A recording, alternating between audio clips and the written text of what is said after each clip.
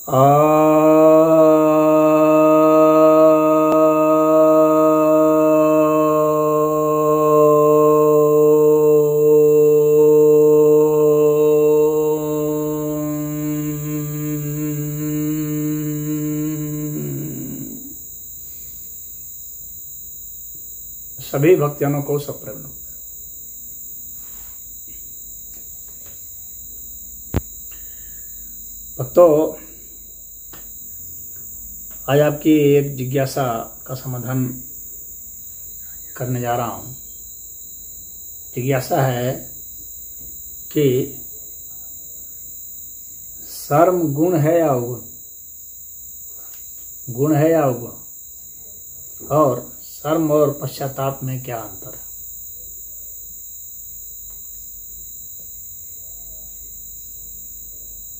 देखिए शास्त्र में गुण तो तीन ही बताए गए हैं सतगुण रजगुण और तमोगुण।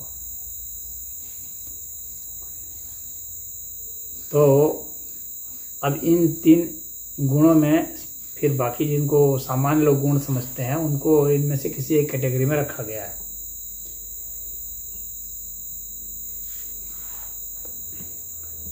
अब यह जो है,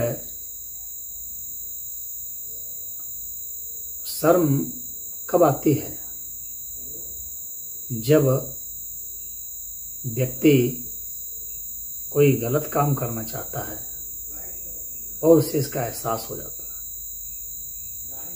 तो शर्म आती है। जब उसके भीतर में कुछ न कुछ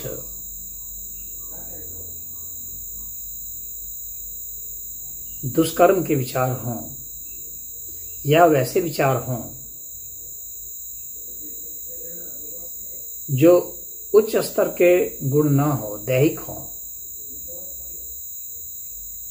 मानसिक नहीं हो तो शर्म का एहसास होता है। देह बोध जितना ज़्यादा होगा, शर्म उतनी ज़्यादा होगी। कुकर्म जितना होगा, ज़्यादा। शर्म उतनी ज़्यादा होगी। लेकिन ऐसी स्थिति में यह राजसी गुण कहलाता है। अब कुछ लोग जो हैं, वो बेशर्म हो जाते हैं। तो बेशर्म हो गए तो सात्विक गुण में प्रवेश नहीं किए, वो तामसिक गुण में चले गए। मतलब कुकर्म भी कर रहे हैं और शर्म भी नहीं है। तो ये जो है, ये तामसिक गुण वाले हो गए, ये अवगुण हो गए।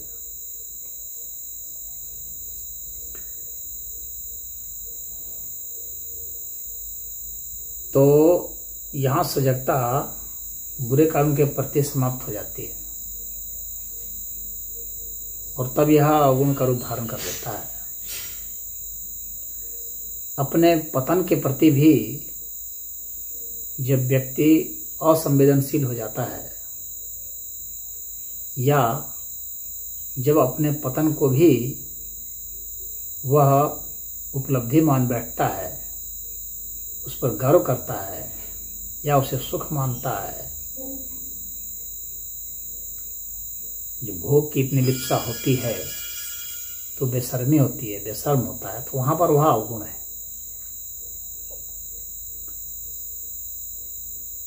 अब पश्चाताप की बात है कि पश्चाताप से इसका अंतर क्या है? तो पश्चाताप सदैव दुष्कर्म के बाद ही है। पहले नहीं। पहले तो शर्म होती है। दुष्कर्म के पहले शर्म, दुष्कर्म के बाद पश्चाताप होता है। उनमें जो थोड़े सजग आदमी होते हैं, जो संवेदनशील आदमी है, थोड़े अच्छे आदमी है। जिनमें रजोगुण है। कुछ सत्गुण का भी इसके ऊपर प्रकाश है, असर है तो उन्हें बुरे कर्म में शर्म और बुरे कर्म के पश्चात पश्चाताप होता है। लेकिन जिनमें वह नहीं है सत्गुण का प्रकाश नहीं है, बल्कि रज और तम गुण में है, और तम गुण हावी है तो वैसे में वे बेशर्म होते हैं और बुरे कर्म करने के बाद भी पश्चाताप का एहसास नहीं होता है, बल्कि बुरे कर्म को ही वे उपलब्धि समझते हैं। और बुरे कर्म के ज़रिए जो कुछ भी उसे प्राप्त होता है, इंद्रिय भोग के लिए, वस्तु या व्यक्ति तो उसको वह अपनी उपलब्धि मानता है और सुख भोग उसको समझता है। तो ऐसे लोग बेशर्म होते हैं यहाँ पर वह जो है, पश्चाताप नहीं करते हैं। तो ऐसे आसुरी प्रवृत्ति के लोग इस तरह के होते हैं। तो पश्चाताप करने वाले तो सज्जन पुरुष होते हैं। गलत काम। एक तो गलती से हो गया। एक गलती कर दी, उसके बाद होश आया। तो जानबूझ के गलती कर दी, बाद में फिर पछता रहे हैं। तो वो राशि प्रवृत्ति है। और एक गलती हो गई और तब पछता रहे, सात्विक प्रवृत्ति होती है। तो वैसा पश्चाताप होता है। तो आपकी अपनी अवस्था क्या है? सात्विक राशि तामसी, उसके हिसाब से आप उसके हिसाब से रिएक्ट करते हैं।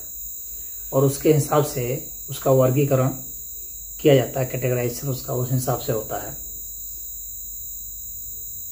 तो यह ही अंतर है। मुझे उम्मीद है आप मंतव्य समझ गए होंगे। और